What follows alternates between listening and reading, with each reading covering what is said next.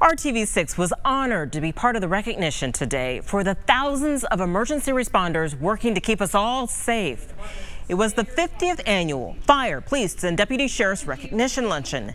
Rafael Sanchez and I were proud and humbled to announce all those award recipients.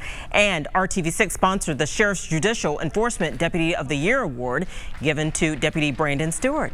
Congratulations to Richard Christian, the Police Officer of the Year, and Sergeant David Roberts, Sheriff's Deputy of the Year, and Captain Casey Sweeney, Firefighter of the Year. Fire Rescue of the Year was awarded to Indianapolis firefighters Matthew Ramey and Kenneth Lang. They were part of this dramatic rescue on the White River last year.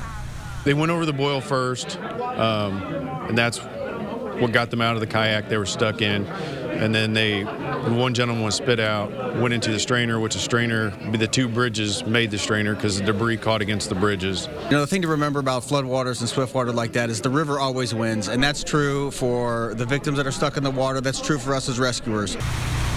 They were able to save one kayaker, but sadly, the other kayaker died from his injuries later that day.